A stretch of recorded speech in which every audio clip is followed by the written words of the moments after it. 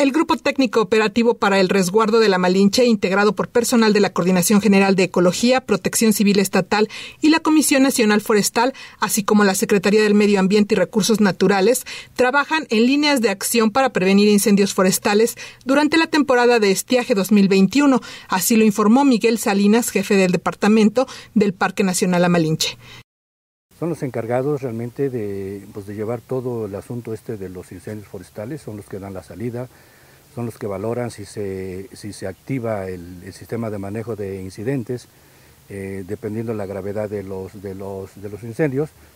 Se tuvo la reunión precisamente para hacer el programa 2021, para ponernos de acuerdo sobre los puntos de atención que tenemos tanto en Malinche como en el resto del estado y la ubicación de las, de las brigadas.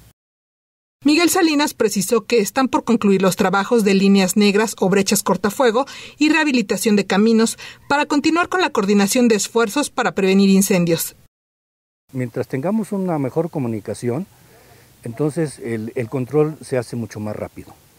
Como muestra, el año pasado tuvimos poco de incendios, pero una muestra de estar bien, bien comunicados, en, como en Malinche, fue una afectación de 2.6 hectáreas por siniestro, lo que no fue en, el resto del estado. Entonces, esto habla de que en Malinche hay una buena uh, comunicación para darle una atención oportuna y rápida.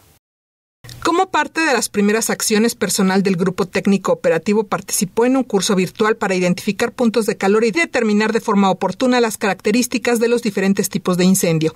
Para Ahora Noticias, Lorena Temolsin.